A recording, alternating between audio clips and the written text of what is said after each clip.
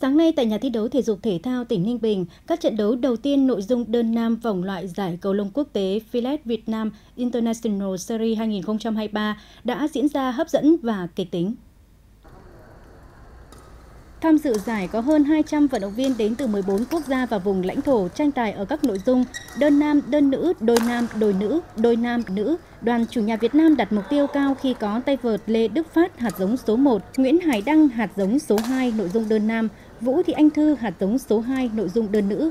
Trước đó, theo bốc thăm, Lê Đức Phát được miễn thi đấu lượt trận đầu.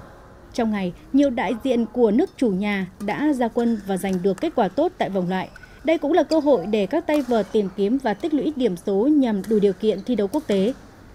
Trước đó vào tối qua, Sở Văn hóa và Thể thao đã tổ chức tiệc chiêu đãi và khai mạc giải cầu lông quốc tế Philips Việt Nam International Series 2023. Tại đây, ban tổ chức đã giới thiệu đến các đại biểu, quan khách, các huấn luyện viên và vận động viên về mảnh đất con người Ninh Bình, qua đó thể hiện sự trọng thị và hiếu khách của đơn vị đăng cai, đồng thời quảng bá những nét đặc sắc về vùng đất văn hóa và con người cố đô, tạo ấn tượng tốt đẹp đối với các đoàn trong thời gian thi đấu tại đây.